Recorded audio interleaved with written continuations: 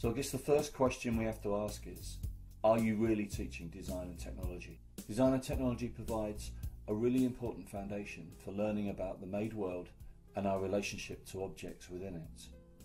In primary schools, when taught correctly, it can give pupils the start they need to really excel when they move to secondary level. D&T is so much more than a practical subject and more than just a means of, of applying what is learnt within literacy, numeracy and science. To deliver design and technology in ways that benefit pupils and allow them to flourish, certain principles need to be followed. A very useful definition of what D&T is. Children should be designing something for somebody for some purpose. Simple craft making without considering the use and purpose of the end items such as a cardboard Viking shield or a Tudor house are not valid design and technology. To make sure people's designing and making activities are valid, you should ensure that the following six principles are met.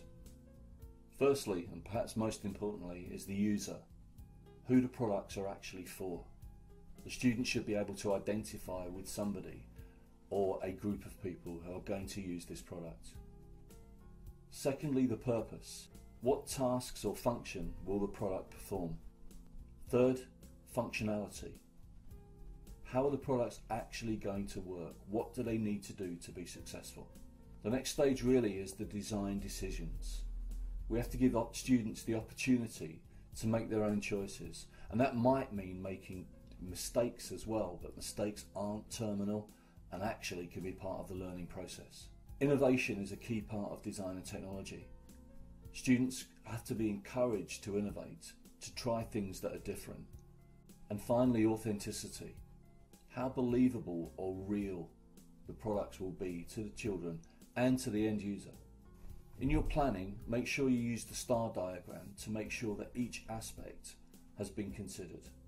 For example, designing and making a bag for an elderly shopper designing and making Christmas themed biscuits. Each product will have a different profile with each principle emphasised to a lesser or a greater degree.